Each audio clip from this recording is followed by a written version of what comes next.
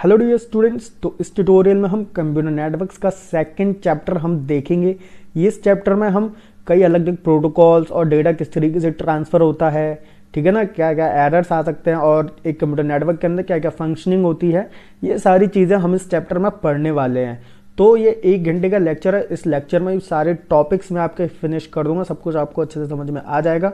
कहीं पर भी कोई पार्ट स्किप मत करना ओके एंड जिन बच्चों की जैसे कंप्यूटर नेटवर्क फ़र्स्ट नहीं देखा है तो उन सबके लिंक डिस्क्रिप्शन में मिल जाएँगे चेकआउट कर लेना ओके एंड ट्वेल्थ क्लास के लिए मैंने सैंपल पेपर्स अपलोड कर चुके हैं, वो भी आप चेकआउट कर सकते हो। सैंपल पेपर सॉल्व करना बहुत ज़्यादा ज़रूरी है ओके तो चेक कर लेना। तो चलिए स्टार्ट करते हैं इस ट्यूटोरियल को।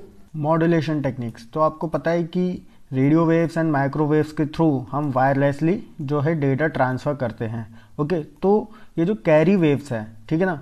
ये जो कैरी वेव्स हैं, जैसे रेडियो वेव या माइक्रोवेव ये जो डेटा कैसे कैरी कर लेती हैं तो उसका आंसर है मॉड्यूलेशन टेक्निक के ज़रिए। तो मॉड्यूलेशन टेक्निक क्या होती है? मॉड्यूलेशन प्रोसेस क्या होता है कि एक कैरियर वेव कैरियर वेव मतलब जैसे रेडियो वेव हो गई या माइक्रोवेव ठीक है, ये आपस में मतलब इनके ऊपर कुछ ऐसा इंफॉर्मेशन नहीं होता, ठीक है, जो हमारे काम आए।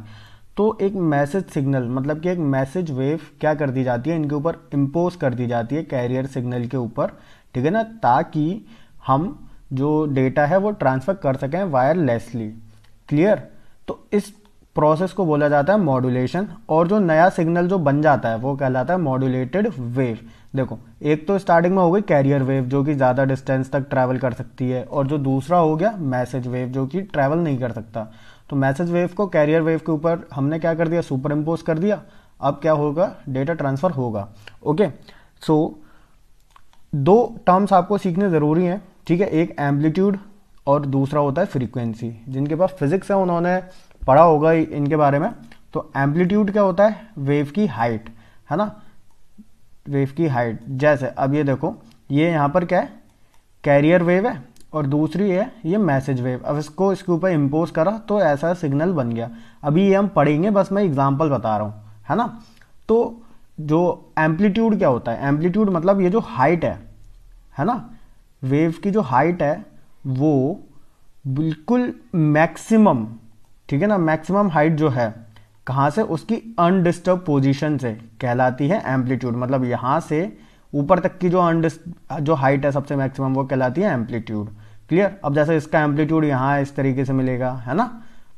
फ्रीक्वेंसी क्या होता है? फ्रीक्वेंसी का मतलब होता है कि एक सेकंड में है ना? कोई जो सोर्स है, जहाँ से वेव्स निकल रही हैं, वो एक सेकंड में कितनी वेव्स निकालता है?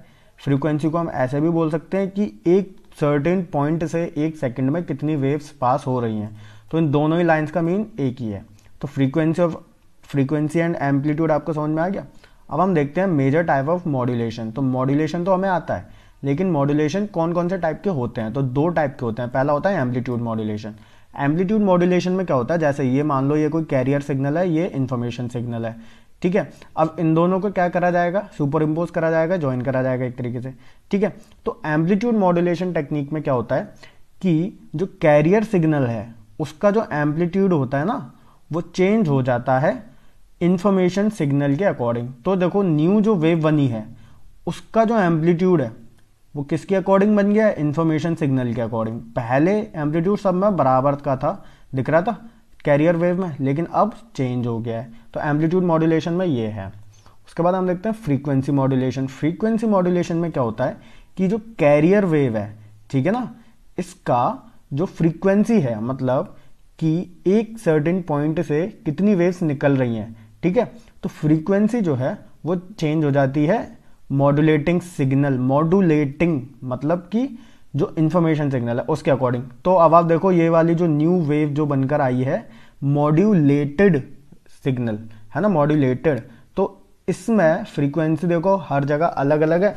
यहाँ पर कैरियर वेव की जो ओरिजिनल फ्रीक्वेंसी अगर आप देखोगे तो सेम नज़र आएगी हर जगह. यहाँ पर चेंज हो गई है किसके अकॉर्डिंग हमारी मॉड्यूलेटिंग सिग्नल यानी कि इन्फॉर्मेशन सिग्नल के अकॉर्डिंग तो दोनों सिग्नल टेक्निक्स आपको आ गई.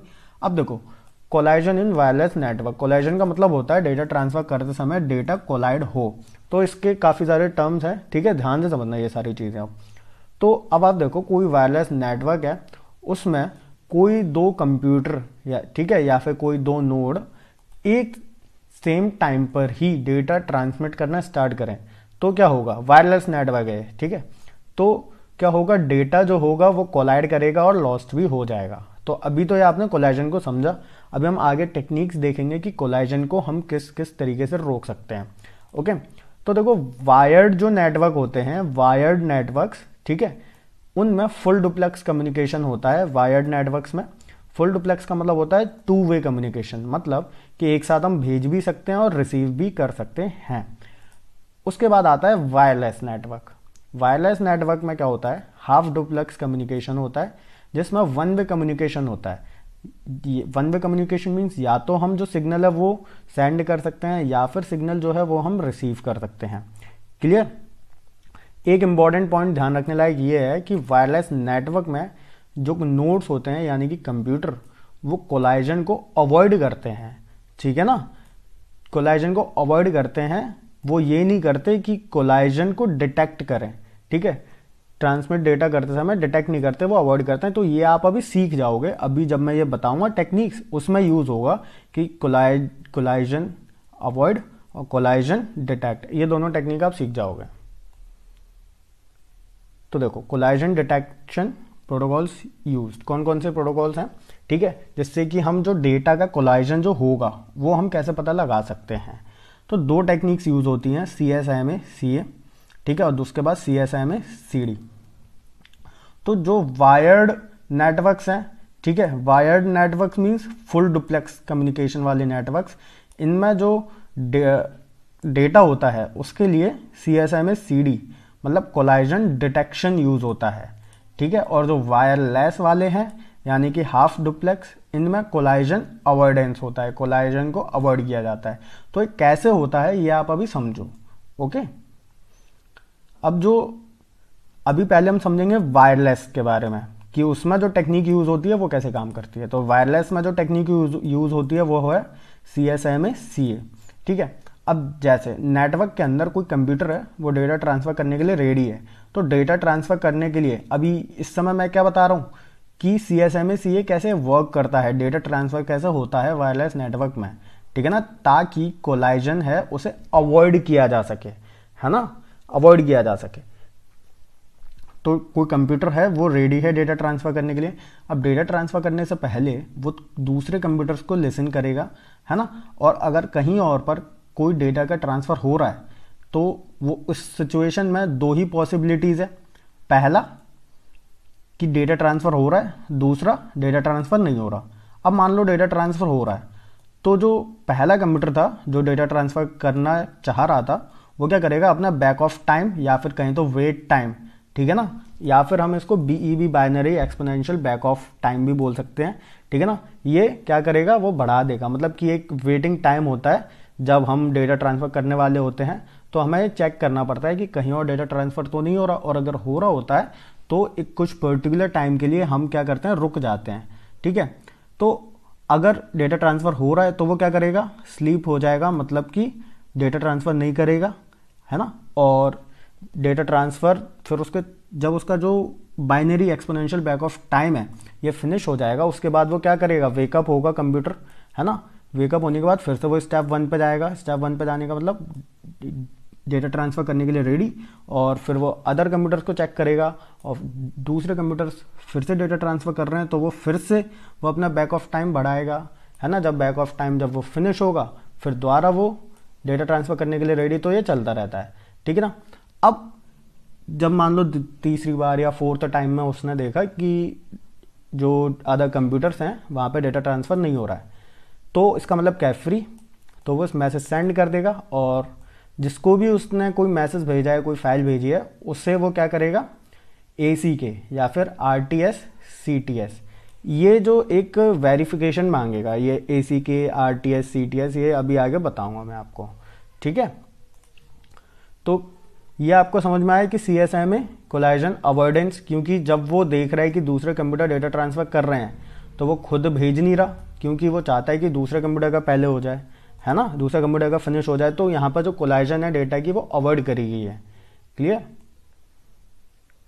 अब देखो, मैंने क्या बोला? जब वो डेटा सेंड कर देता है तो दो तरीके के वेरिफिकेशन होते हैं, एक तो एसी के और दूसरा R T S C T S तो अभी हम क्या पढ़ रहे हैं? C S M A C A collision avoidance in wireless देखो C S M A with A C K method है ना? जब कोई भी जो कंप्यूटर है, वो जो डेटा ट्रांसफ़र कर देता है किसी दूसरे कंप्यूटर को तो जिसको डेटा रिसीव हुआ है, ठीक है ना? वो कुछ पर्टिकुलर टाइम के अंदर ही अंदर जिस कंप्यूटर ने डेटा उस कंप्यूटर को भेजा है, उसको वो एक्नोलेजमेंट सिग्नल भेजेगा। जैसे मैंने आपको कुछ डेटा भेजा तो आप मुझे एक एक्नोलेजमेंट सिग्नल भेजोगे कि मेरे को डेटा रिसीव हो गया है, ठीक है? अब मैं, अब देखो, मैंने आपको डेटा भेजा था, लेकिन आपने मुझे मान लो एसी के सिग्नल नहीं भेजा, है ना? कुछ पर्टिकुलर टाइम के अंदर ही भेजना होता है, जब रिसीव हो जाता है, ठीक है? जब आपको फ़ाइल रिसीव हो जाए, उसके पर्टिकुलर टाइम के अंदर ही एसी के सिग्नल भेजना होगा। तो अगर मान लो मुझे एसी के सिग्नल नहीं मिला तो मैं क्या समझूँगा कि जो डेटा है, वो फेल हो चुका है डेटा ट्रांसमिशन सक्सेस नहीं हुआ है, और मैं दोबारा से सिग्नल रिट्रांसमिट करूँगा। क्लियर तो ये तो था एक्नोलेजमेंट मेथड कि हाँ भाई वेरीफाई भी हो गया कि डेटा भेजा जा चुका है। दूसरा मेथड क्या था? डेटा भेजने के बाद वेरीफाई करने का।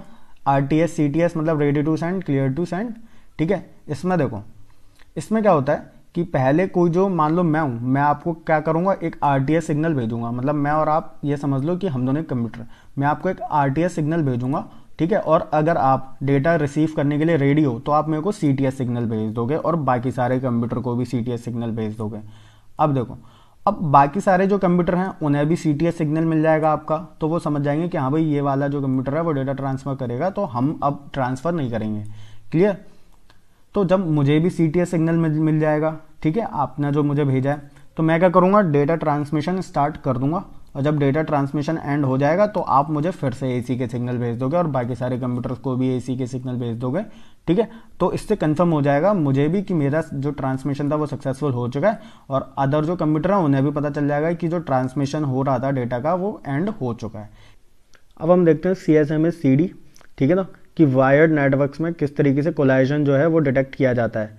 तो देखो अभी कोई सेंडर है वो डेटा ट्रांसमिट करने के लिए रेडी है और अब वो क्या करेगा जो ट्रांसमिशन लिंक है मतलब कि जो केबल है वहाँ पे चेक करेगा कि वहाँ पर कोई डेटा ट्रांसफ़र तो नहीं हो रहा है है ना? और ये चेक करने के लिए वो क्या करेगा उस लिंक में मतलब कि उस केबल में एक डमी डेटा भेजेगा। डमी डेटा मतलब जिस डे, जो डेटा काम का नहीं है बस वो चेक करने के लिए भेजेगा ठीक है? और अगर जो सेंडर है वो रिसीव करेगा कि हाँ भाई डमी डेटा इजीली सेंड हो गया है कोई भी कोलाइजन नहीं हुआ है तो इस समय वो इजीली अपना डेटा भेज सकता है है ना? तो वो क्या करेगा? अपना डेटा भेज देगा।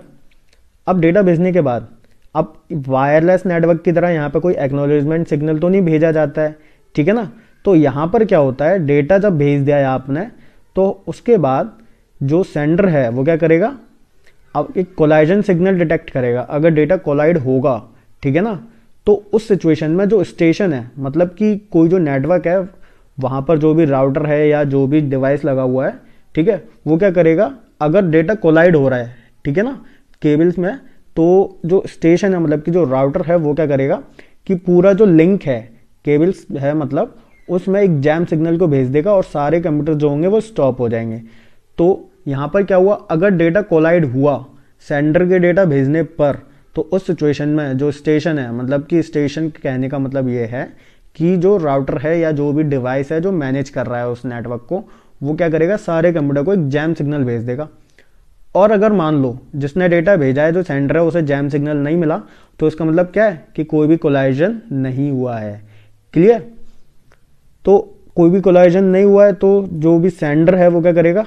अपना जो भी और बाकी का बचा हुआ फ्रेम ट्रांसमिशन है, ठीक है, वो भेज देगा। क्लियर? टीसीपी और आईपी। तो टीसीपी और आईपी क्या है?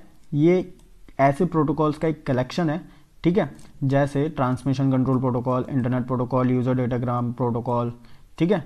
और भी कई सारे प्रोटोकॉल्स का एक कलेक्शन है। तो ये करते क्या है? ये अभी अभी हम सीखेंगे, ठीक है? तो एक प्रोटोकॉल क्या होता है? प्रोटोकॉल का मतलब होता है रूल्स बहुत सारे रूल्स तो किसी भी एक प्रोटोकॉल के अंदर कई सारे रूल्स होते हैं, या फिर कहो तो किसी भी टास्क को अचीव करने के लिए कई सारे स्टेप्स हो सकते हैं। ठीक है ना? कि अब ये होता है तो ये होगा, इस तरीके से पॉइंट्स हो सकते हैं। तो हैंडशेक प्रोसेस क्या होता है? जब भी कोई डेटा मतलब सेंडर या रिसीवर ठीक है ना, ये एक दूसरे को क्या करते हैं? एक्नोलेजमेंट सिग्नल भेजते हैं, जिससे ये कंफर्म हो जाता है कि हाँ भाई डेटा है, वो ट्रांसफ़र हो सकता है मतलब कि एक कनेक्शन है, वो इस्टेब्लिश हो चुका है, ठीक है ना? तो एक्नोलेजमेंट सिग्नल के ज़रिए होता है। तो टीसीपी की क्या होती है? टीसीपी जो है, वो एक कनेक्शन ओरिएंटेड प्रोटोकॉल है। कनेक्शन ओरिएंटेड मतलब ये दो कंप्यूटर्स के बीच कनेक्शन बनाता है और जो कनेक्शन कैसे बनाया जाता है हैंडशेक प्रोसेस के ज़रिए, अब एक्नोलेजमेंट सिग्नल के ज़रिए आप ऑलरेडी पढ़ चुके हो, ठीक है? अब टीसीपी का एक और काम क्या होता है कि मान लो कोई फ़ाइल सेंड होनी है इंटरनेट पर, है ना? या किसी नेटवर्क में तो वो उस फ़ाइल को काफ़ी छोटे छोटे पार्ट्स में डिवाइड कर देगा और वो छोटे छोटे पार्ट्स क्या कहलाते हैं? पैकेट्स तो वो जो पार्ट्स को वन बाय वन करके जहाँ पर जो भेजना है, उसे भेजता है। ठीक है? और टीसीपी का ये काम भी होता है कि रिसीवर ठीक है ना, जो रिसीव कर रहा है मैसेज को, वो क्या करेगा? उन छोटे छोटे पैकेज को रीअसेंबल करेगा। किसके ज़रिए? टीसीपी के ज़रिए मतलब टीसीपी ही करता है। टीसीपी ही उन्हें फ्रेगमेंट करता है डिवाइड करता है और टीसीपी ही द्वारा से उसे रीअसेंबल करता है। करेक्ट ऑर्डर में कि कौन सा पैकेट पहले आएगा, कौन सा बाद में। क्लियर यूडीपी यूडीपी जो है वो एक कनेक्शन लेस प्रोटोकॉल है मतलब कि दो कंप्यूटर के बीच कनेक्शन नहीं बनाता। इन्फॉर्मेशन जो है वो हैंडशेक प्रोसेस के बिना ही भेज दी जाती है और यूडीपी जो प्रोटोकॉल है, वो जो छोटे डेटा के लिए यूज़ करा जाता है। आईपी आईपी क्या है? वो भी एक कनेक्शन लेस प्रोटोकॉल है। ये कोई दो कंप्यूटर के बीच कनेक्शन नहीं बनाता। सिर्फ़ आईपी का काम ये होता है कि डेटा ट्रांसफ़र करना है तो सेंडर और रिसीवर उनके कंप्यूटर को लॉजिकली आइडेंटिफाई करता है एक नेटवर्क में, है ना? मतलब कि एक एड्रेस देता है। डेटा इजीली रिसीव हो जाए और सेंड हो जाए। Okay network congestion and retransmission and TCP. तो टीसीपी का काम आप समझ गए होंगे, ठीक है, क्या होता है? तो नेटवर्क कंजेशन का मतलब क्या होता है? जैसे नेटवर्क डिवाइस है कोई, ठीक है, जैसे कि राउटर्स जो कि ये डिसाइड करते हैं डेटा किस रास्ते से ट्रैवल होकर जाना चाहिए। अब रास्ते का मतलब एक नेटवर्क के अंदर लॉजिकली कहाँ से कहाँ ट्रांसफ़र होना चाहिए, उसकी बात हो रही है, ठीक है? तो राउटर का काम क्लियर तो राउटर को काफ़ी सारा जो इनकमिंग डेटा आ रहा है, किसी नेटवर्क में बहुत सारा डेटा ट्रैवल कर रहा है, लेकिन राउटर जो है उस काम के लिए बना नहीं है, उतना ज़्यादा डेटा हैंडल नहीं कर सकता। जैसे कभी कभी होता है ना बैंक की जो साइट्स होती हैं, वो क्या होती हैं? डाउन हो जाती हैं कभी कभी बैंक का सर्वर डाउन हो जाता है। तो वो यही होता है कि उनके जो डिवाइसेस हैं, वो इतना ज़्यादा जो लोड है, वो हैंडल नहीं कर पा रहे। तो नेटवर्क कंजेशन हो गया है। ठीक है? तो नेटवर्क कंजेशन जैसे हमारे ट्रैफ़िक में कंजेशन होता है, उस तरीके से तो नेटवर्क कंजेशन की वजह से क्या क्या होता है? तो नेटवर्क कंजेशन की वजह से मान लो कोई रिसीवर है, जिसको डेटा रिसीव हुआ है और वो वापस जो है एक्नॉलेजमेंट सिग्नल नहीं भेज पा रहा। हालाँकि उसे डेटा रिसीव हो चुका है, लेकिन फिर भी वो उसका एक्नॉलेजमेंट सिग्नल नहीं भेज पा रहा। ये हो सकता है नेटवर्क कंजेशन की वजह से। और जब सेंडर है, उसे एक्नॉलेजमेंट सिग्नल नहीं मिलेगा तो वो क्या करेगा? दोबारा से डेटा रिट्रांसमिट करेगा, है ना? तो इससे नेटवर्क ट्रैफ़िक और ज़्यादा बढ़ जाएगा और और उसकी वजह से और ज़्यादा कंजेशन होगा। नेटवर्क कंजेशन की वजह से नेट, नेटवर्क का जो थ्रोपुट भी क्या होता है, वो कम हो जाता है। थ्रोपुट का मतलब होता है नेटवर्क की परफॉर्मेंस। तो नेटवर्क की परफॉर्मेंस जो है, वो भी कम हो जाती है। क्लियर? अब नेटवर्क कंजेशन के सिम्टम्स क्या क्या हैं? ठीक है ना? तो सिम्टम्स हैं कि पैकेट डिले मतलब कि पैकेट मतलब कि जो छोटे छोटे पार्ट्स में डेटा हमने फ्रेगमेंट करा था टीसीपी के द्वारा तो जो पैकेट्स भेजने में डिले हो रहा है या फिर पैकेट्स भेज दिए, लेकिन कुछ पैकेट्स जो हैं वो लॉस हो गए हैं। तीसरा रीज़न तीसरा सिम्टम हो सकता है रिट्रांसमिशन मतलब डेटा द्वारा द्वारा भेजा जा रहा है। क्लियर अब नेटवर्क कंजेशन को कैसे हैंडल कर सकते हैं हम? तो नेटवर्क कंजेशन को हैंडल करने के लिए एक फ़र्स्ट प्रोसेस है मीटरिंग है ना? तो मतलब कि जो भी सेंडर है, वो क्या करेगा? जो भी कुछ फ़ाइल या कोई भी डेटा दूसरे कंप्यूटर को भेजा जाना है वो क्या करेगा? उस डेटा का एक फ्लो मेंटेन रखेगा कि इतना पर्टिकुलर डेटा मैं बिना एक्नोलेजमेंट सिग्नल के ही सेंड करूँगा। और अगर बेशक मुझे बाद में एक्नोलेजमेंट सिग्नल नहीं आता है तो मैं द्वारा नहीं भेजूँगा। ये बात आपको क्लियर हुई कि पर्टिकुलर अमाउंट ऑफ़ डेटा ही बिना एक्नोलेजमेंट सिग्नल रिसीव हुए ही भेजेगा। और इसके बाद का जो डेटा होगा, वो तभी भेजेगा जब एक्नोलेजमेंट सिग्नल मिल जाएगा। दूसरा तरीका जो है नेटवर्क कंजेशन को हैंडल करने के लिए वो है डेटा को रीराउट करना। मतलब कि अगर मान लो एक रास्ते से नहीं जा पा रहा है तो दूसरा किसी लॉजिकल वे से डेटा पैकेट्स को भेजा जाए। ठीक है ना? तीसरा जो तरीका है वो ये है कि जो जितने भी सेंडर्स हैं, उन्हें इन्फॉर्म किया जाए कि भाई अपना जो डेटा आप ट्रांसफ़र कर रहे हो, उसे कंट्रोल करो ट्रांसमिशन रेट को कंट्रोल करो। है ना? कम कम डेटा ट्रांसफ़र करो। या फिर डेटा आप भेज रहे हो या द्वारा से भेज रहे हो, ठीक है ना? उसमें थोड़ा टाइम टाइम टाइम दो आप। देखते हैं, एड्रेस ऑन अ नेटवर्क। कोई भी एक नेटवर्क में एड्रेस जो है, वो कितने कितने टाइप के हो सकता है मतलब उनके बारे में काफ़ी डिटेल में हम पढ़ेंगे इसमें। तो पहला है वेब एड्रेस, जैसे हम यूआरएल भी कहते हैं, कहीं तो यूनिफॉर्म रिसोर्स लोकेटर। हर एक वेबसाइट का एक यूआरएल होता है है ना? एक वेब एड्रेस होता है, जैसे कोई माइक्रोसॉफ्ट जो कंपनी है, उसका जो यूआरएल है, वो हम इसे बोल सकते हैं। तो एक यूआरएल में कौन कौन से जो होते हैं पार्ट होते हैं। तो एक यूआरएल में फ़र्स्ट जो चीज़ होती है, वो होती है प्रोटोकॉल की, वो कौन सा प्रोटोकॉल यूज़ कर रहा है तो एस प्रोटोकॉल यूज़ हो रहा है, ठीक है? उसके बाद डोमेन का नाम, ठीक है? ये तो दिखा रहा है कि वर्ल्ड वाइड वेब ये तो लाना ज़रूरी होता है। उसके बाद डोमेन का नाम डोमेन के नाम के बाद ये इसे हम चाहें तो एक्सटेंशन भी बोल सकते हैं क्लियर और अगर कोई पर्टिकुलर किसी एग्जैक्ट फ़ाइल या किसी एग्जैक्ट पेज पर जा रहे हैं किसी वेबसाइट के तो डोमेन नेम के आगे पाथ भी लिखा होता है। क्लियर तो ये सारे आप समझ गए कि क्या क्या होता है। प्रोटोकॉल डोमेन नेम एक्सटेंशन जो आप बता सकते हो, ठीक है? और उसके बाद पाथ भी आप बता सकते हो, ठीक है? तो डोमेन का जो एक्सटेंशन होता है, जैसे हम डोमेन इंडिकेटर भी बोलते हैं तो वो क्या करता है? ये बताता है कि ये जो पर्टिकुलर वेबसाइट है, वो किस टाइप की है, ठीक है? तो जैसे डॉट कॉम लिखा हुआ है तो पता चल जाएगा कि कॉमर्शियल एंटिटी है। कॉमर्शियल मतलब बिज़नेस करने वाली। और अगर मान लो किसी के आगे डॉट ऑर्ग लिखा है तो समझ लो कि ये कोई एनजीओ है। किसी के आगे डॉट गॉव लिखा है तो समझ लो गवर्नमेंट की साइट है। डॉट ई लिखा है तो समझ लो एजुकेशनल साइट है। क्लियर हम एक तरीके से ये भी बोल सकते हैं कि कोई भी जो यूआरएल होता है, वो किसी भी एक फ़ाइल का इंटरनेट पर एक एड्रेस होता है, क्योंकि उसी एड्रेस के ज़रिए हम उस पर्टिकुलर फ़ाइल तक पहुँच सकते हैं। ठीक है? अब वो फ़ाइल हो सकता है कि एक वेबसाइट का पेज है, कोई सॉन्ग है या जो भी है।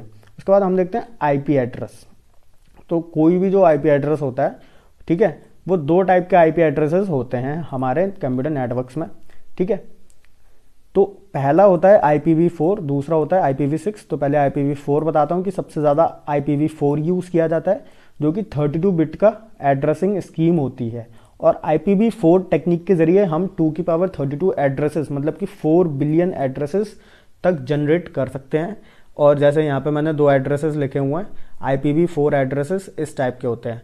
तो IPv4 एड्रेस का जो फॉर्मेट होता है, वो इस तरीके से होता है x dot x dot x dot और हर एक जो एक्स है, वो एक ऑक्टेट को रिप्रेजेंट कर रहा है। ऑक्टेट का मतलब है कि यहाँ हर एक डॉट से पहले, है ना? मतलब कि चार एक्स है ना? तो हर एक एक्स की जगह हम ज़ीरो से टू फाइव फाइव के बीच की कोई एक वैल्यू रख सकते हैं। ज़ीरो भी रख सकते हैं टू फाइव फाइव भी रख सकते हैं। क्लियर अब ऑक्टेट कहने का मतलब क्या है? ऑक्टेट कहने का मतलब ये है कि हम यहाँ पर हर एक एक्स को अगर बाइनरी में कन्वर्ट करेंगे ना तो आठ डिजिट का एक बाइनरी नंबर निकल के आएगा, जिसे ऑक्टेट बोला गया है।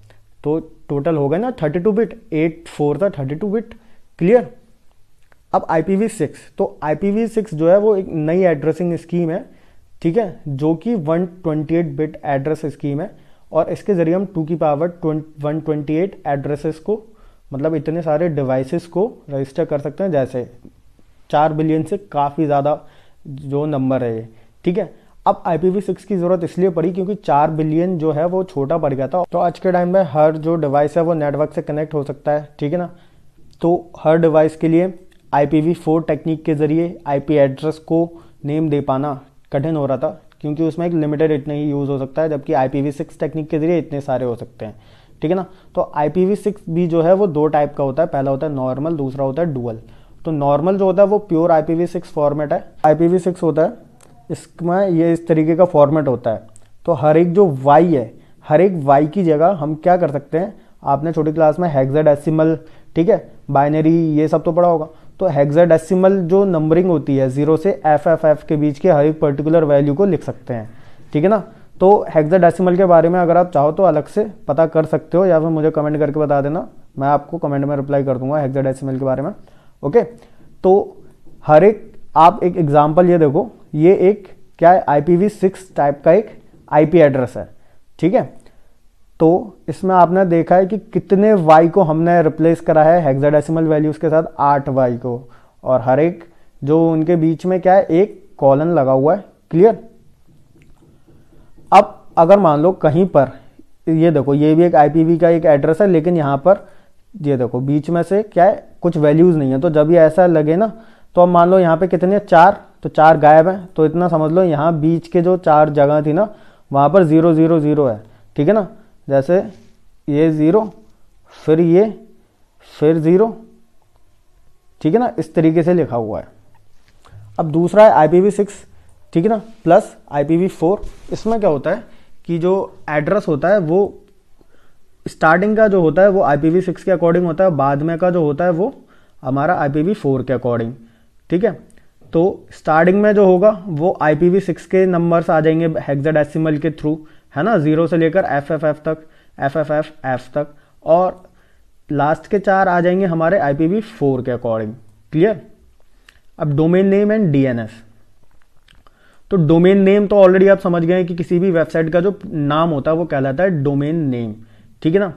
अब डोमेन नेम क्या बताता है कि वेबसाइट का पर्पस क्या है? वेबसाइट का नाम मतलब पर्टिकुलर आइडेंटिफाई करता है, उस वेबसाइट के डोमेन नेम से पता चल जाता है कि ये वेबसाइट किस चीज़ के लिए बनी है। ठीक है ना? लेकिन ज़रूरी नहीं है, हम कुछ भी वैसे नाम रख सकते हैं। डोमेन एक्सटेंशन के बारे में भी आप समझ चुके हो। अब हम पढ़ते हैं डोमेन नेम सिस्टम तो डोमेन नेम सिस्टम क्या है? इंटरनेट की एक तरीके से फ़ोन बुक की तरह है। तो जितने भी वेब ब्राउजर्स होते हैं, ठीक है ना? वो इंटरनेट प्रोटोकॉल एड्रेस के ज़रिए डेटा ट्रांसफ़र करते हैं, ठीक है ना? कि भाई अब इस कंप्यूटर पर डेटा जाना है या यहाँ से रिसीव हुआ है, इस आईपी एड्रेस के थ्रू कम्युनिकेट कर पाते हैं। तो डोमेन नेम सिस्टम क्या करता है? कि जो आईपी एड्रेस है, ठीक है ना? Domain name system domain names को आईपी एड्रेस में कन्वर्ट करता है डोमेन नेम रेजोल्यूशन को यूज़ करके। ये लाइन समझ में आई कि डोमेन नेम सिस्टम का काम क्या होता है? ठीक है ना? तो अब आईपी एड्रेस कन्वर्ट हो गया। डोमेन नेम में या डोमेन नेम कन्वर्ट हो गया आईपी एड्रेस में ये काम हुआ डीएनएस के ज़रिए। क्लियर अब डोमेन नेम रेजोल्यूशन के ज़रिए ही तो कन्वर्ट करता है तो डोमेन नेम रेजोल्यूशन क्या है? अब देखो, अब जैसे आपने कोई डोमेन नेम डाला, ठीक है, जैसे आपने वेबसाइट का नाम डाला www.cbsc.nic.in अपने ब्राउज़र में तो अब आपका जो ऑपरेटिंग सिस्टम है, वो आपके कंप्यूटर में एक होस्ट फ़ाइल होती है, जिसमें क्या होता है, कुछ वेबसाइट्स के आईपी एड्रेस होते हैं। पहले तो वो उस होस्ट फ़ाइल में चेक करेगा कि ये जो आपने डोमेन नेम डाला है, क्या उसके लिए कोई आईपी एड्रेस लिखा हुआ है उस होस्ट फ़ाइल में। अगर लिखा हुआ है तो ठीक है, अगर नहीं लिखा हुआ तो ऑपरेटिंग सिस्टम क्या करेगा? इंटरनेट पर जो डोमेन नेम सर्वर है, जहाँ पर जितनी भी वेबसाइट के डोमेन नेम और आईपी एड्रेस सेव रहते हैं, वहाँ पे चेक करेगा।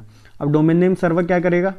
वो कोई जो आईपी एड्रेस है उस डोमेन का जो आपने पुट किया था, वो रिटर्न कर देगा और जब आईपी एड्रेस आपको मिल जाएगा तो ऑपरेटिंग सिस्टम क्या करेगा? आपके ब्राउज़र को भी वो इन्फॉर्मेशन रिटर्न कर देगा। Cellular wireless connectivity protocols. तो कुछ प्रोटोकॉल्स के बारे में हम पढ़ते हैं सेलुलर वायरलेस कनेक्टिविटी के इनके बारे में मतलब कि फ़ोन पर जो इंटरनेट की सर्विसेज़ फ़ोन जो चालू हुए थे उनके बारे में। One G technology one G को हम बोल सकते हैं first generation wireless mobile communication ठीक है ना? जहाँ पर एनालॉग सिग्नल्स को क्या करा जा रहा था? ट्रांसमिट करा जा रहा था, ठीक है ना? और जो वन जी टेक्नोलॉजी है वो नाइनटीन एटीज़ में आई थी यूनाइटेड स्टेट्स में और ये वॉइस कम्युनिकेशन के लिए बनाई गई थी कि कॉल करके हम बात कर सकें एक दूसरे से। तो क्या क्या कैरेक्टरिस्टिक्स थे कि स्पीड 2.4 kbps थी और वॉइस क्वालिटी बेकार थी और बहुत बड़े बड़े फ़ोन होते थे जिनकी बैटरी लाइफ भी एक लिमिटेड होती थी और डेटा सिक्योरिटी भी नहीं थी। क्लियर उसके बाद आए टू जी फोन्स तो टू जी क्या था? Global system for mobile communication 1992 ठीक है ना? और इसे सेकेंड जनरेशन बोला गया और यहाँ पर जो मैक्सिमम जो स्पीड आने लगी वो आने लगी 250 kbps की। और जो फ्रीक्वेंसी थी वो 9000 से 1800 मेगाहर्ट्ज तक आ चुकी थी बढ़ के और जो डेटा ट्रांसफ़र भी हो रहा था कॉल्स भी होती थी और टेक्स्ट मैसेज भी होती थी। हमने भी टू डेटा यूज़ करा है, ठीक है ना? इतना ज़्यादा आज के मुकाबले तो बहुत स्लो होता था। एक गाना डाउनलोड होने में भी बहुत टाइम लग जाता था, है ना? दस मिनट लग जाते थे।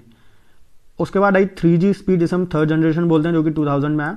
और इनिशियली जो था थ्री जी था, इसमें पाँच सौ के से लेकर two M B P S तक की स्पीड आ रही थी। बट उसके बाद थ्री में और सपोर्ट बढ़ाया गया और बीस एम की स्पीड आने लगी। और थ्री जी स्पीड का जो डेटा ट्रांसफ़र होता था, वो 2100 मेगा तक होता था, है ना? ये फ्रीक्वेंसी थी उसके। अब उसके बाद आया फोर जी दो हज़ार तेरह में फोर जनरेशन यहाँ पे जो स्पीड थी, वो दस से पंद्रह एम की आने लगी और कभी कहीं कहीं जो है, वो पचास एम तक भी आती है, ठीक है? जो कंपनी अच्छी प्रोवाइड कर रही है। उसके बाद इंडिया में जो फोर की जो फ्रीक्वेंसी रेंज है, वो अठारह सौ मेगा हर्ट से तेईस सौ मेगा हर्ट्स तक है। अब बैंडविड के बारे में समझ लो। अब हायर बैंडविड का मतलब क्या होता है? बैंडविड का मतलब होता है कि कोई भी डिवाइस है या कंप्यूटर है, उसकी ट्रांसमिशन कैपेसिटी क्या है? है ना? कि वो कितना डेटा ट्रांसफ़र कर सकता है एक बार में। तो उसे हम एमबीपीएस बोलते हैं। तो हायर जितनी ज़्यादा फ्रीक्वेंसी होगी, उतनी हायर ज़्यादा बैंडविथ होगी। क्लियर तो इसका मतलब क्या है? हायर फ्रीक्वेंसी का मतलब हायर बैंडविथ और हायर बैंडविड्थ का मतलब कि उतने ज़्यादा यूज़र कोई भी जो आपको डेटा प्रोवाइड कर रहा है, उसकी जितनी ज़्यादा फ्रीक्वेंसी है, वो उतने ज़्यादा यूज़र एक बार में हैंडल कर सकता है। मतलब आपकी उतनी अच्छी स्पीड आती है, आएगी। आप मेरी बात समझ गए? जैसे एयरटेल कितनी फ्रीक्वेंसी यूज़ कर रहा है, या आइडिया कितनी फ्रीक्वेंसी यूज़ कर रहा है, इसके ज़रिए आप पता लगा सकते हो कि आपके एरिया में क्या फ्रीक्वेंसी है, क्या बैंडविड है, और उसके हिसाब से आप चूज़ कर सकते हो कोई भी जो डेटा प्रोवाइडर है आपके लिए। उसके बाद आते हैं वाईफाई वायरलेस फाइडेलिटी भी बोलते हैं इसको, है ना? तो कोई भी एक प्रोटोकॉल मतलब वाईफाई प्रोटोकॉल की अभी बात हो रही है यहाँ पे तो ये प्रोटोकॉल क्या करता है कि हमारा जो कंप्यूटर है, उसे इंटरनेट से कनेक्ट करवाता है, ठीक है ना? इंटरनेट सर्विस प्रोवाइडर के ज़रिए। और वाईफाई के लिए हमें क्या चाहिए? ब्रॉडबैंड कनेक्शन चाहिए, किसी एक इंटरनेट सर्विस प्रोवाइडर से, एक राउटर चाहिए, एक लैपटॉप या डेस्कटॉप चाहिए, क्लियर? उसके बाद हम देखते हैं हॉटस्पॉट। तो हॉटस्पॉट क्या है? हॉटस्पॉट आप सभी अपने फ़ोन्स में यूज़ करते होंगे, उसको अगर डिफाइन के रूप में लिखना है तो ऐसे लिख सकते हो कि हॉटस्पॉट क्या है? एक वेन्यू है, एक जगह है जो कि वाईफाई एक्सेस प्रोवाइड करता है। अब बेसिक नेटवर्क टूल्स के बारे में हम कुछ जान लेते हैं। अब ये जो नेटवर्क टूल्स हैं, ठीक है, इनका यूज़ क्या क्या है, देख लो।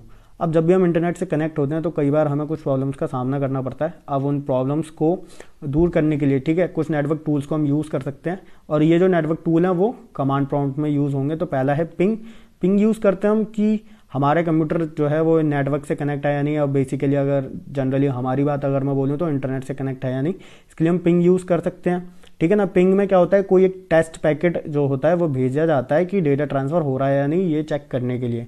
ठीक है?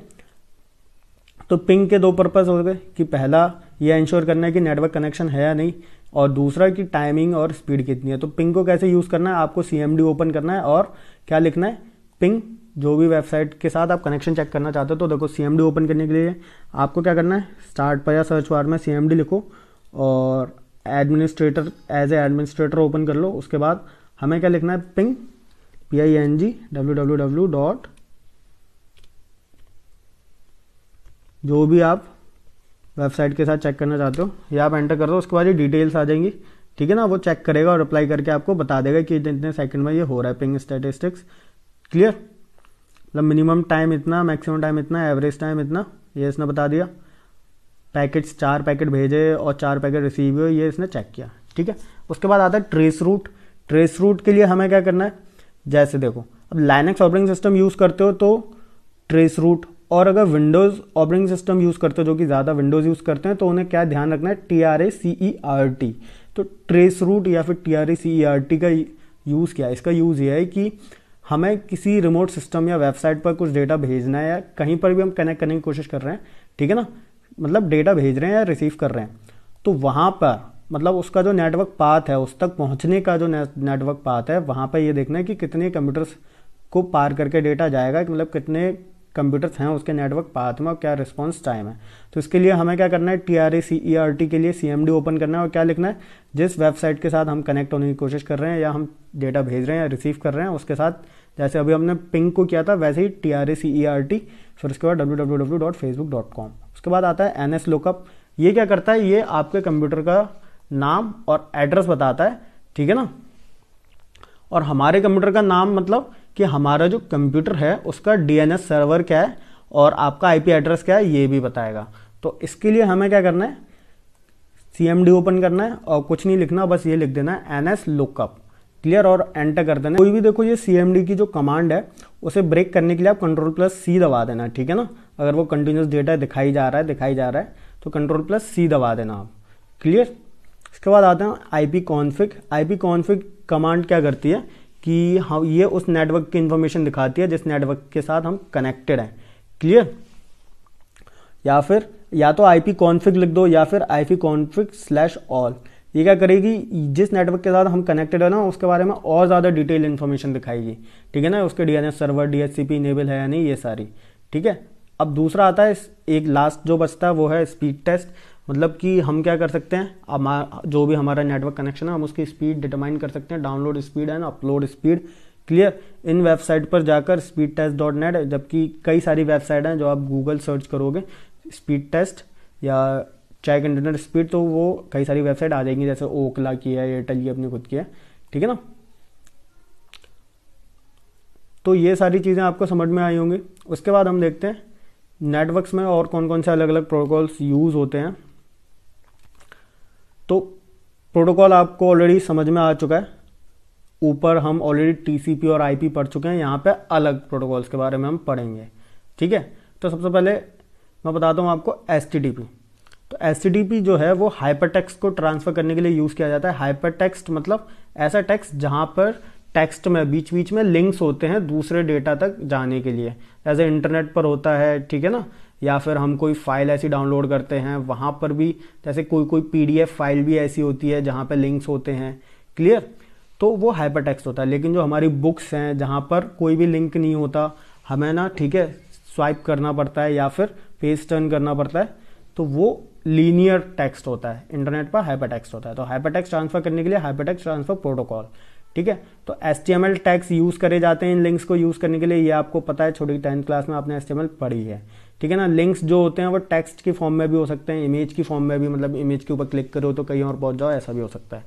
तो S T T P protocol जो है, वो कैसा किस लिए डिज़ाइन कराया गया है? ये क्लाइंट सर्वर प्रिंसिपल को फॉलो करता है और उसी टेक्नोलॉजी उसी टेक्निक को जो है वो एग्जीक्यूट करता है। ठीक है ना? मतलब कि जो एसटीडीपी है, वो एक क्लाइंट के कंप्यूटर को अलाउ करता है किसी भी कनेक्शन को इस्टेब्लिश करने के लिए। किसके साथ? सर्वर मशीन के साथ। ठीक है ना?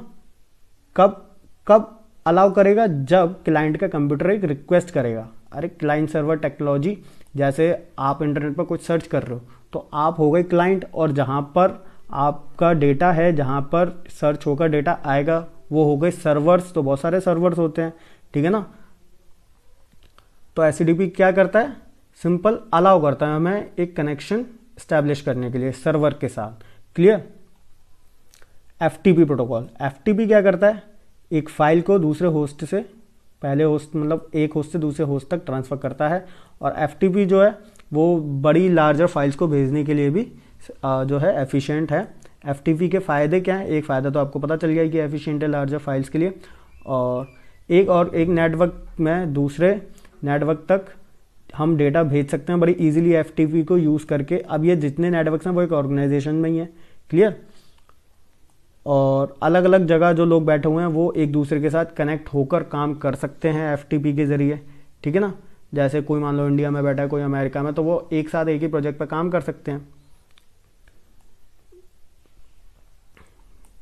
जैसे एफटीपी जो है, अगर आपको लॉग इन करना है किसी वेबसाइट पर तो इस तरीके का कुछ पासवर्ड मतलब इस तरीके की जो लाइन होती है, वो हमें पुट करनी पड़ती है। ठीक है? तो इसके ज़्यादा आप डिटेलिंग में मज़ा आइएगा। ओके ये तो सिर्फ़ लॉगिन करने के लिए एक कमांड थी, लेकिन हम और भी कई कमांड दे सकते हैं।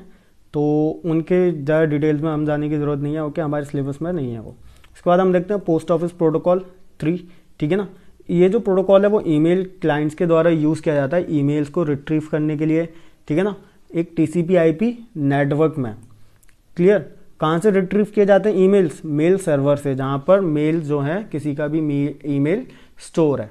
तो देखो, पीओपी क्या करता है? पहले जैसे आपके जो ईमेल्स हैं, वो जीमेल के सर्वर में स्टोर होंगे तो पोस्ट ऑफ़िस प्रोटोकॉल क्या करेगा? आपको वो ईमेल फैच करके देगा, रिट्रीव करके देगा। क्लियर? जब जब आप लॉग इन करोगे। और जब आप उनके सर्वर से मतलब आपके सर्वर में ईमेल डाउनलोड कर लोगे या देख लोगे तो पीओपी क्या करता है? अपने सर्वर से, ठीक है ना, जैसे जीमेल का सर्वर होगा, वहाँ पे स्टोर था तो वहाँ से आपका मेल को डिलीट कर देता है, जब आपके कंप्यूटर में एक बार आ जाता है तो। क्लियर? और पीओपी जो है, हर एक मेल बॉक्स का एक दूसरा मेल सर्वर सपोर्ट करता है। क्लियर और वो तो होता ही है। अब पीओपी के दो पार्ट्स हैं मतलब दो पोर्ट्स हैं। पोर्ट क्या होते हैं? पहले मैं आपको बता देता हूँ। पोर्ट जो होते हैं, वो एक लॉजिकल कनेक्शन होता है, ठीक है? लॉज एक तो मान लो कोई केबल है, वो तो एक ही कनेक्शन है, लेकिन वहाँ पर अलग अलग लॉजिकल कनेक्शन दिए जाते हैं अलग अलग इंटरनेट की सर्विसेज़ मतलब इंटरनेट पर तो कई सारे प्रोटोकॉल्स हैं। तो उन अलग अलग प्रोटोकॉल्स की वर्किंग के लिए अलग अलग पोर्ट नंबर डिसाइड कर दिए गए हैं उसी एक कनेक्शन में, ठीक है ना? और उस लॉजिकल कनेक्शन को हम बोल सकते हैं पोर्ट और उस पोर्ट का जो नंबर होता है, ठीक है ना? उस लॉजिकल कनेक्शन का जो नंबर होता है उसे हम बोल सकते हैं पोर्ट नंबर क्लियर और हर एक पोर्ट का जो आइडेंटिफिकेशन है, वो कैसे हो सकता है? 16 बिट का एक अनसाइंड नंबर होता है तो पोर्ट आपको समझ में ठीक है? तो पोस्ट ऑफ़िस प्रोटोकॉल जो है, उसके दो पोर्ट्स होते हैं, एक तो 110 और दूसरा 995 तो 102 वाल 110 वाला जो है, वो क्या करता है? वो डिफ़ॉल्ट पोर्ट है नॉन एनक्रिप्टेड पोर्ट है, जो कि अनसिक्योर्ड ईमेल कम्युनिकेशन के लिए यूज़ किया जाता है। और उसके बाद जो दूसरा पोर्ट है, वो एनक्रिप्टेड पोर्ट है, जो कि सिर्फ़ सिक्योर ईमेल जो होते हैं, उनके लिए यूज़ किया जाता है। क्लियर जैसे कोई स्पैम मेल है तो वो इस पोर्ट के ज़रिए आएगा। क्लियर और वो आपके स्पैम में पुट कर दिया जाएगा, आपके ईमेल में जो स्पैम होता है, वहाँ पे। तो इतने सारे पोर्ट नंबर्स हैं, और ये उनको क्या क्या काम जो है, वो असाइन करा गया है, ये आप देख सकते हो। क्लियर अब आते हैं एक और प्रोटोकॉल पर, जिसका नाम है I map I map means internet message access protocol तो पोस्ट ऑफ़िस प्रोटोकॉल का यूज़ आपको क्लियर था? तो आई मैप क्या करता है? ये भी सेम काम वही करता है कि हमें मैसेजेस जो है, वो मेल सर्वर से हमें ऑफलाइन मतलब हमें प्रोवाइड कराता है। ठीक है? किस टाइप के कनेक्शन में? जहाँ पर टीसीपी आईपी कनेक्शन होता है। तो आई मैप क्या करता है? कि मल्टीपल जो मेल सर्वर्स होते हैं, ठीक है? वहाँ पर जो हमारे अलग अलग जो मैसेजेस हैं, उन्हें कंबाइन कर देता है कंसोलिडेट करके हमें एक जगह प्रोवाइड कर देता है, ठीक है ना? जैसे मान लो मेरे चार ईमेल अकाउंट्स हैं तो आजकल जो है वो फ़ोन में इस तरीके की सर्विस आ गई है कि चार ईमेल अकाउंट्स मैंने जी के लॉगिन कर लिए, ठीक है ना? तो उनको भी मैं एक ही जगह देख सकता हूँ, चारों ईमेल अकाउंट्स के जो जो मेल्स आए हैं, वो मैं एक ही जगह देख सकता हूँ, ठीक है ना? ये सर्विस फ़ोन में होती है। क्लियर तो सेम एग्ज़ाम्पल ये था कि मान लो कोई कॉर्पोरेट का कोई क्लाइंट है, कोई बंदा है, वो क्या कर रहा है, कई सारे अकाउंट्स हैंडल कर रहा है, ठीक है ना? तो अब वो हर एक अकाउंट को लॉग इन करके तो देखेगा, नहीं तो सारे जो अलग अलग एड्रेसेस वाले ईमेल अकाउंट होंगे, उनका डेटा एक जगह आ जाएगा। क्लियर तो ये सारे जो हैं, वो सपोर्ट करते हैं आई मैप को आई मैप प्रोटोकॉल को। तो कुछ एडवांटेजेस हैं आई मैप प्रोटोकॉल के? किसके ऊपर एडवांटेज है? पीओपी प्रोटोकॉल के ऊपर, ठीक है ना? तो आई जो है वो फास्ट है और आई जो है वो मल्टीपल मेल अकाउंट्स को एक कनेक्ट कर देता है एक सिंगल मेल बॉक्स में ठीक है ना? और जो भी मैसेजेस हैं, जो रीड कर लिए गए हैं डिलीट करे गए हैं, या स्टार मतलब इम्पोर्टेंट अप्लाई कर दिया गया है, या जिनका रिप्लाई कर दिया गया है, इन सब का ट्रैक रखता है और सर्वर पर भी मैसेज सर्च करता रहता है कौन सा मतलब न्यू मैसेजेस आ रहे हैं या सेंड हो गए हैं। आई के भी दो पोर्ट हैं, एक 143 जो कि नॉन एनक्रिप्टेड पोर्ट दूसरा encrypted port secure email communications के लिए S M T P simple mail transfer protocol ये क्या करता है कि जो मैसेज भेजे जाने हैं जो कि आउट गोइंग है उनको सेंड करता है और डिस्ट्रीब्यूट करता है ठीक है? जहाँ जहाँ पर भी भेजना है। तो एस एम टी पी दो ज, दो पोर्ट पे काम करता है एक पोर्ट ट्वेंटी फाइव जहाँ जो कि अनसिक्योर्ड ईमेल के लिए यूज़ होते हैं और पोर्ट फोर सिक्सटी फाइव जो कि एनक्रिप्टेड पोर्ट है और जो कि सिक्योर ईमेल कम्युनिकेशन के लिए यूज़ होता है। उसके बाद आते हैं हम V O I P voice over internet protocol ठीक है ना? वॉइस ओवर इंटरनेट प्रोटोकॉल क्या है? एक टेलीफोनिक सर्विस है इंटरनेट पर, है ना? आजकल हम इंटरनेट पर कॉल कर सकते हैं इंटरनेट के थ्रू तो इंटरनेट का जो यूज़ था ट्रेडिशनली डेटा ट्रांसफ़र के लिए यूज़ होता था मतलब मैसेजेस एक्सचेंज के लिए बट आजकल टेक्नोलॉजी इतनी एडवांस है कि हम वी ओ आई पी भी कर पा रहे हैं। क्लियर अब उसके बाद आता है N F C near field communication ये क्या है? कम्युनिकेशन प्रोटोकॉल है, जो कि दो इलेक्ट्रॉनिक डिवाइस को क्या करता है? डेटा ट्रांसफ़र करने में एक दूसरे की हेल्प करता है। मतलब कि हम उन दोनों डिवाइसेस को फोर सेंटीमीटर की डिस्टेंस पर लेकर आए मतलब बिल्कुल पास लेकर आए तो डेटा ट्रांसफ़र होना स्टार्ट हो जाता है। क्लियर एन एफ़ सी उसके बाद आते हैं। एस टी डी पी काम कैसे करता है असल में?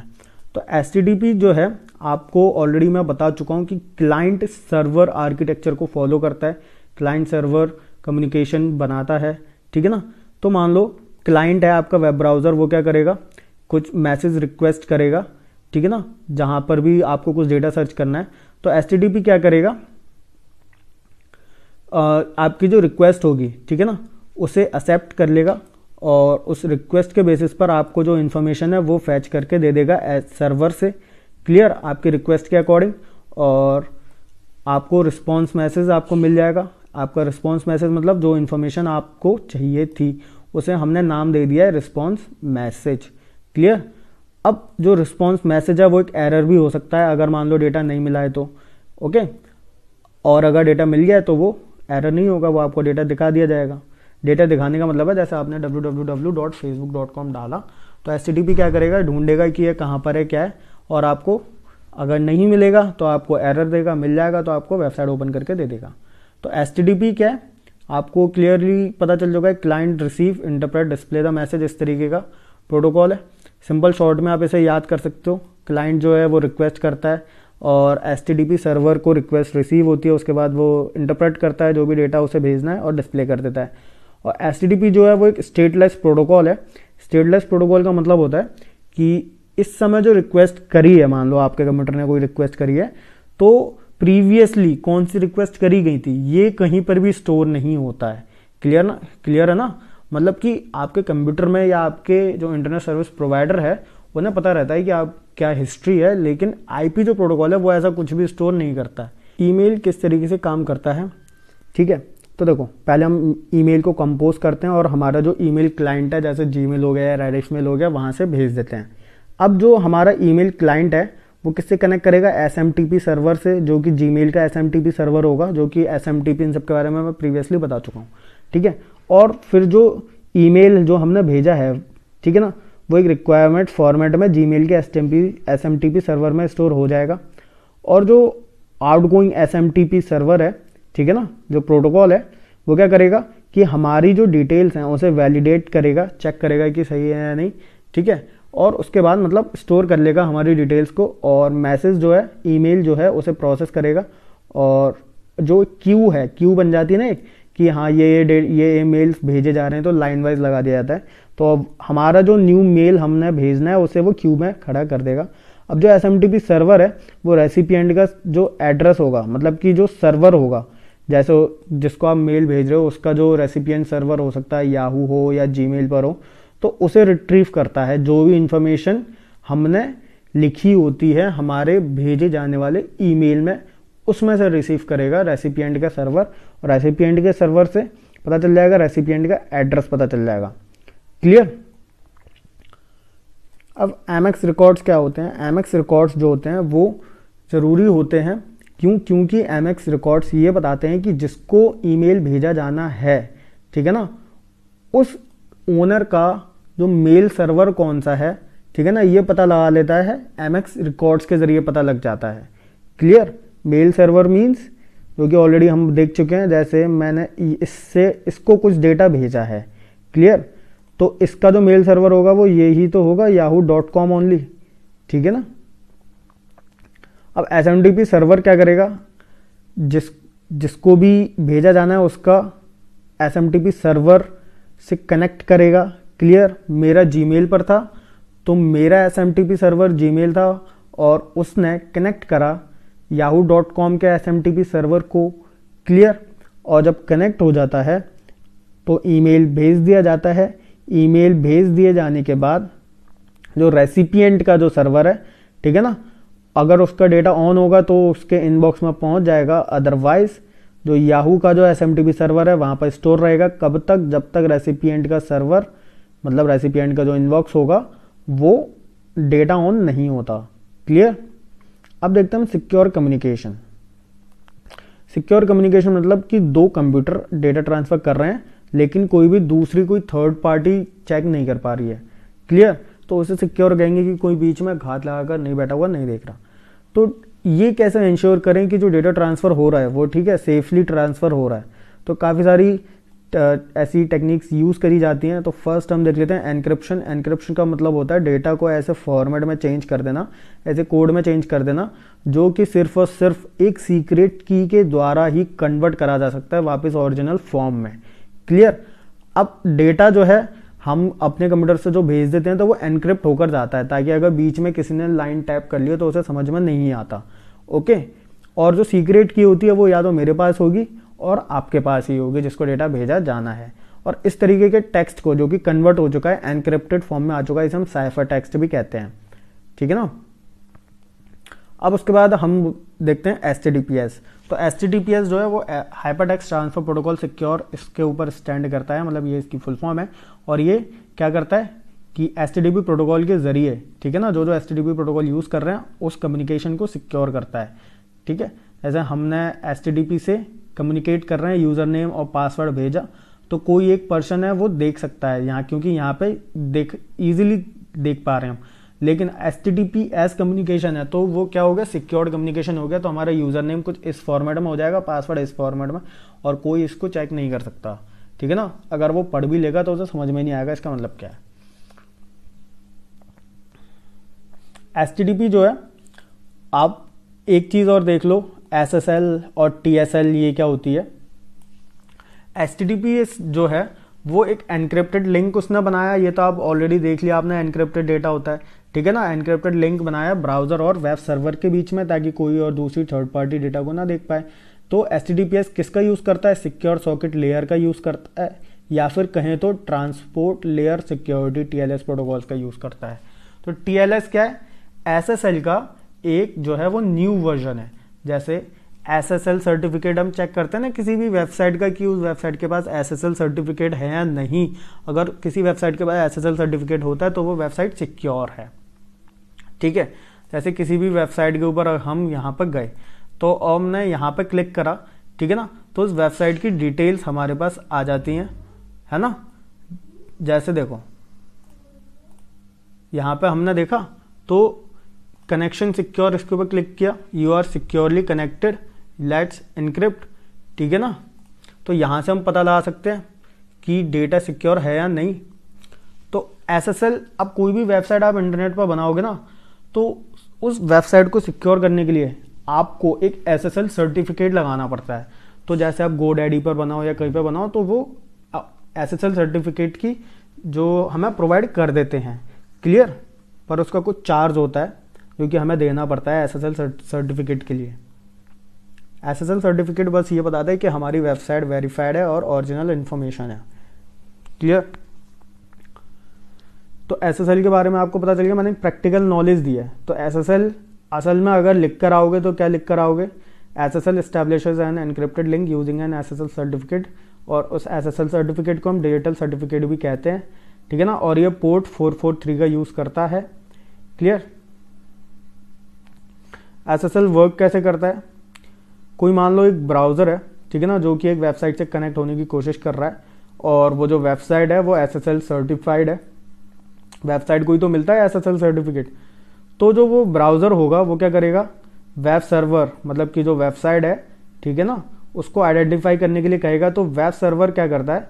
अपने SSL सर्टिफिकेट की एक कॉपी भेज देता है। और ये हमें पता नहीं चलता, ये उस बहुत एक नैनो सेकंड के अंदर ही हो जाता है जब हम कोई भी वेबसाइट का एड्रेस टाइप करते हैं।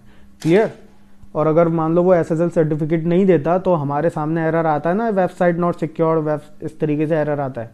ठीक है? तो जो ब्राउज़र है, वो क्या करता है कि उसका S S L certificate check करता है कि वो सही है या नहीं, और सही होता है तो वेब सर्वर को वापस मैसेज भेज देता है। अब वेब सर्वर क्या करेगा? जो भी एस एस एल सर्टिफिकेट का एक एक्नॉलेजमेंट भेज देता है। ठीक है ना? जिससे कनेक्शन बन जाता है और कनेक्शन बनने के बाद डेटा ट्रांसफ़र स्टार्ट हो जाता है और कनेक्शन बन गया, उसके बाद एनक्रिप्टेड डेटा जो है वो शेयर कर लिया जाता है।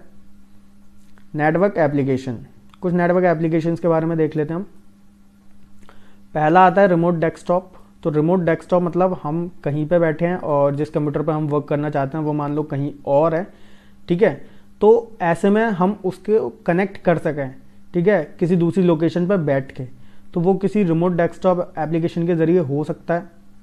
है ना? जैसे टीम वीयर एक एप्लीकेशन है जिसके ज़रिए हम आ, किसी दूसरी लोकेशन पर कोई कंप्यूटर है उसको एक्सेस कर सकते हैं। अब रिमोट लॉगिन रिमोट लॉगिन मतलब हम एक जगह बैठे हैं और वहीं पर बैठे बैठे हम किसी दूसरी जगह किसी कंप्यूटर में लॉगिन कर लें या किसी दूसरे नेटवर्क में लॉगिन कर लें। ठीक है? तो वो कहलाता है रिमोट लॉगिन जैसे टेलनेट और एस एस एच ये क्या करते हैं? ये रिमोट लॉगिन की सर्विस प्रोवाइड करते हैं इंटरनेट पर। एक प्रोटोकॉल और हम देख लेते हैं गोफर तो ये गोफर जो है, वो टेक्स्ट और बाइनरी फ़ाइल को मेन्यू वाले स्ट्रक्चर में जो है, वो अलाउ करता था। मतलब कि पहले जो वर्ल्ड वाइड वेब था ना, उससे पहले गोफर यूज़ होता था, ठीक है ना? वेबसाइट्स के लिए फ़ाइल के लिए। तो वहाँ पे जैसे फ़ोन में हमारे मेन्यू आता है, इस तरीके के फॉर्मेट में फाइल्स आती थी। लेकिन वर्ल्ड वाइड वेब आया तो वो थोड़ा डिफरेंट हो गया मेन्यू वाला टाइप तो था, लेकिन थोड़ा डिफरेंट हो गया। Okay so students I hope कि ये चैप्टर आपको अच्छे से समझ में आया होगा।